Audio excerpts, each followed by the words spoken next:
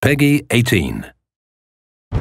Vivec City, our largest settlement, larger by the day. As a Morag Tong assassin, I approve. Assassins love cities, especially cities as busy and bustling as Vivec. After all, we're better to hide than among other people? And just watch out for ordinators and know the fastest route to the outlaw's refuge.